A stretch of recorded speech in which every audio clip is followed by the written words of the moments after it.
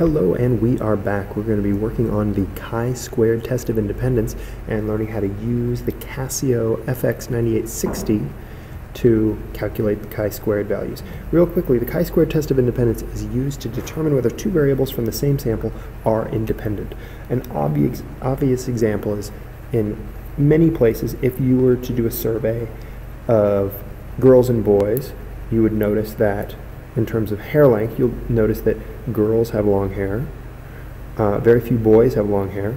Some girls have short hair, but uh, the vast majority of boys have short hair. So the question is, is hair length independent of the gender of the student?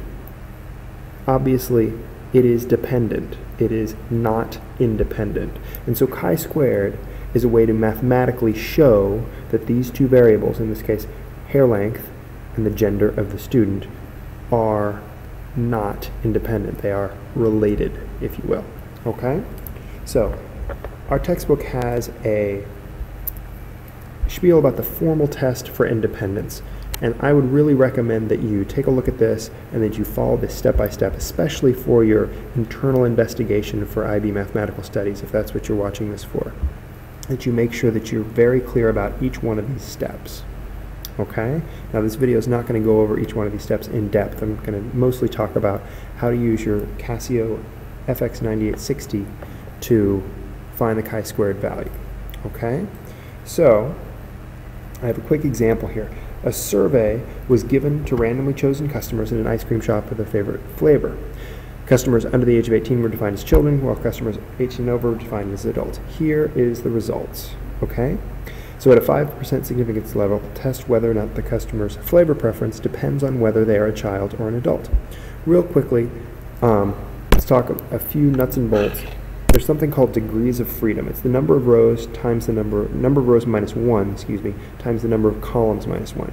You see that the there are two columns, there are three rows. So in this case, we do 3 minus 1 times 2 minus 1. So that's obviously 2 times 1, which is 2 in this case. Okay, Pretty straightforward. A lot of times the IB asks you to show how to calculate the degrees of freedom. Super easy points. You just need to remember to be able to do that. Okay? So in this case, it is 2. What's the null hypothesis? Okay, so the null hypothesis is stating the two variables and saying they are independent. Okay, and the chi-squared calculation um, shows whether or not that null hypothesis is true or not, or actually whether we accept it or reject it.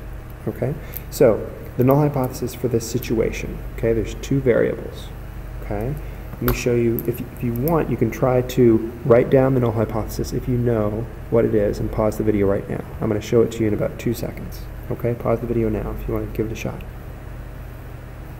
Okay, so as you can see here, the null hypothesis is favorite ice cream flavor is independent of whether a customer is a child or an adult. It's independent. Whereas the alternate or alternative hypothesis is that favorite ice cream flavor is not independent of whether a customer is a child or an adult. Okay? So that's how the null hypothesis works.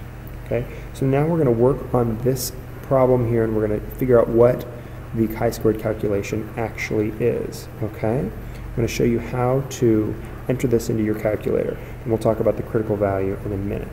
All right? So here is the Casio FX9860. Um, to enter this information and find the chi-square. You don't actually go to stat, you have to go to just the regular run. Okay, and it's because we have to create a matrix. We have to create a matrix with this information in it. So you'll notice there's a thing that says MAT, that stands for matrix right here. We're going to push F3, which corresponds with that, and we want matrix A, that's fine. This is going to be 3 by 2, 3 by 2. So we're going to enter 3 exe 2 exe. Okay, and then it's going to give us a chance to enter those. Okay, so I'm going to enter the data here.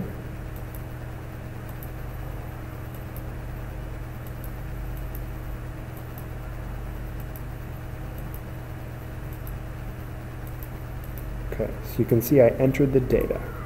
Fine. This is matrix A now. Now I want to do the chi-squared calculation. What I have to do is I actually have to go to menu and now I go to stat. Now, there's no information here. That's okay. If there is information here, that's also okay. It doesn't correspond to what we're doing, okay? Because we've entered this as matrix A. So we're doing a chi-squared test. So we're going to click test. This corresponds with F3. There it is, chi. And it's two variable, so we're going to go two way, okay? The observed is matrix A, okay? So we're going to hit exe, and this gives us the chi-squared value. Okay, in this case it's 57.7. Okay, so I'm going to write that down. 57.7. Here we go. 57.7. That's chi-squared calc. Excuse me, I wrote that wrong. It's chi-squared calc is 57.7. Now, here's the idea. Once we have that, okay, the problem will tell you the critical value. Okay, the critical value for two degrees of freedom in this case at 5% significance level is 5.991. Okay, so if chi-squared calculated value is greater than the chi-squared critical value, okay, you reject the null hypothesis. Okay? And in this case, you can see, in this case, the calculated value, right? We have 57.7 is greater than 5.991. Therefore, we reject H sub O, which is the null hypothesis.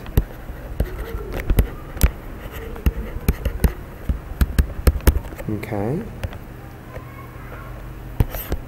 And we can accept H sub 1,